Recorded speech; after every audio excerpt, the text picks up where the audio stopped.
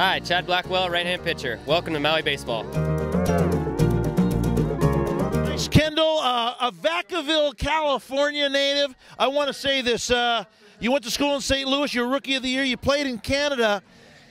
First of all, what's it take to get in the bigs? Uh, I mean, there's so many ball players coming from all over the world.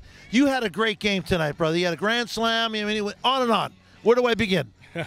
Thanks, man. Um, just hard work, um, a lot of dedication. Um, you really have to have a drive to play this game, a love for this game, and just you know good work ethic. You know, and if you do those things and you know you get a little lucky, then you can find your way um, playing professional baseball somewhere. Some of the ball players that we have here coming to Maui are Japanese. Some of these guys that are Americans are going to play over there. Uh, you guys are from Northern Cal. What's your thought? How's this game happening? I mean, it's going all the way to China now, man.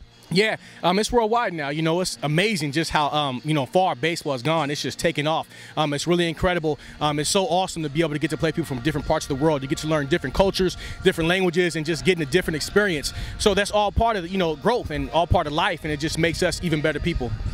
So now that we kind of know where everyone's coming from, which is worldwide, how does a guy how does a guy stay uh, active and relevant? I know you're going to say work hard, but I mean, I mean, it, it's crazy now, isn't it? Yeah. It's crazy. Yeah, it is. The truth of the matter is, man, you really have to just play and put up numbers. Um, that's how you stay relevant. You know, try and stay young as long as you can, injury free. If you do, do those few things, you can play around for a long time.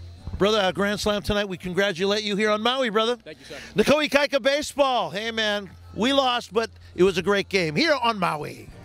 DJ Dixon, first base. See you next time.